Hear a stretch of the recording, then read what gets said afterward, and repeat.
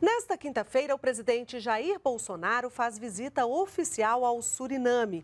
Ele será recebido na capital Paramaribo pelo Chan Santok, presidente do país. Mais de 20 mil brasileiros vivem no Suriname e o repórter Carlos Molinari, que está em Paramaribo, acompanhou como vivem essas pessoas.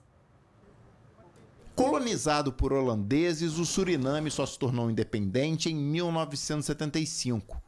O estilo de construção das casas em madeira é uma herança daquela época.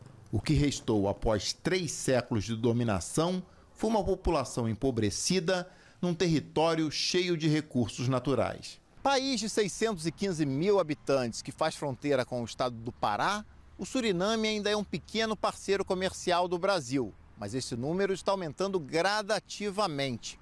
O Brasil exporta para eles equipamentos de engenharia civil, frango e carne e importa basicamente só arroz. Mas agora, com a descoberta de jazidas de gás e petróleo na costa marítima do Suriname, a Petrobras tem interesse em ampliar a cooperação com a estatal surinamesa Statsóleo. Para isso, nesta quinta-feira, o presidente Jair Bolsonaro terá um encontro bilateral com o presidente Chan Santok aqui neste palácio. O número de brasileiros que vivem aqui está entre 20 a 30 mil. Muitos são garimpeiros ilegais.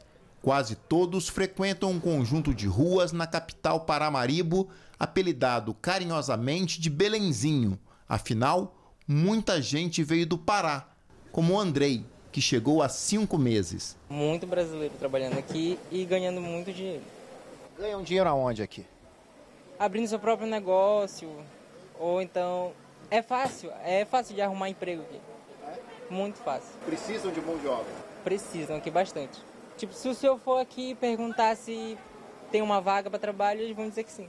Como o cartaz mostra, há vagas de trabalho, oportunidades de crescimento também. Dona Digé veio do Maranhão em 1998 e montou um restaurante e emprega oito brasileiros e dois cubanos. Todo lugar que você anda aqui tem mais brasileiro que surinamense.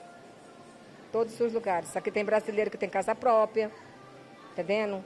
Eu tenho filho aqui que tem lojas, empresário de peças de garimpo.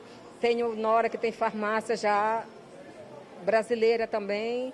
Então, tudo isso que você está vendo aí é restaurante brasileiro.